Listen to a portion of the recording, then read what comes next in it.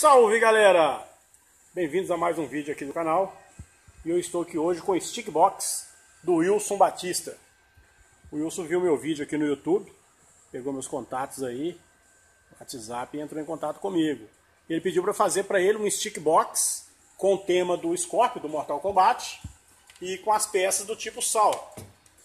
Então fiz para ele aqui o comando do estilo que ele pediu e aqui é aquela demonstraçãozinha básica dele funcionando, né?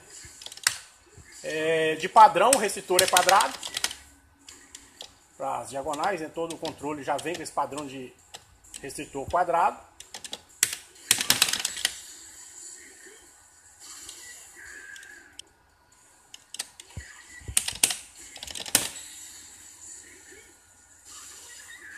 Então, tá aqui confeccionado para o Wilson. Agradeço o Wilson aí pela confiança aí. Ele depositou o dinheiro direto na minha conta.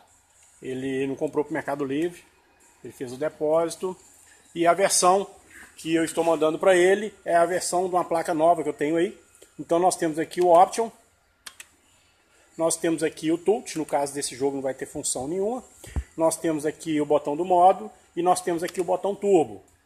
É, então na hora que você for jogar algum emulador aí, é, é, olha lá, algum emulador de navinha, o que for aí, ele pode acionar o turbo e ter essa função aí, ó. Ó de mão, por exemplo, ó. Aí eu seguro o botão turbo, pronto. Então, para jogos aí de, de emuladores aí no PC, ele vai poder jogar aí com essa função a mais. Os jogos de luta a gente não usa, mas tá aí para os outros tipos de jogos. Funciona também no PlayStation 3. Essa versão que ele pegou no Play 4 usa o DualShock pareado. Bom, galera, é isso aí. Agradeço aí por estar assistindo esse vídeo. Aquele abraço, valeu!